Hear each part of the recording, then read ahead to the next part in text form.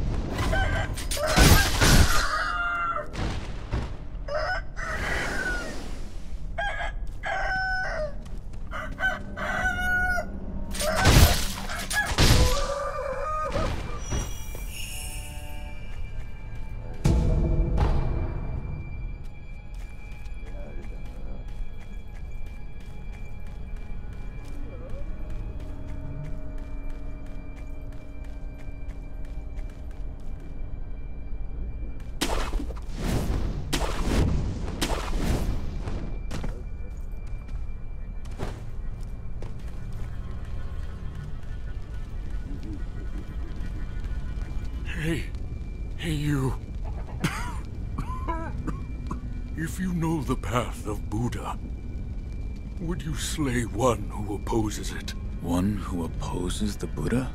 Correct. the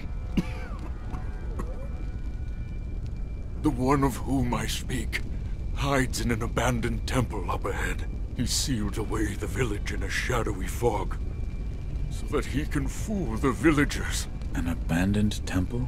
Yes. It's an old building. the door may be closed, but there should be a hole in the second floor.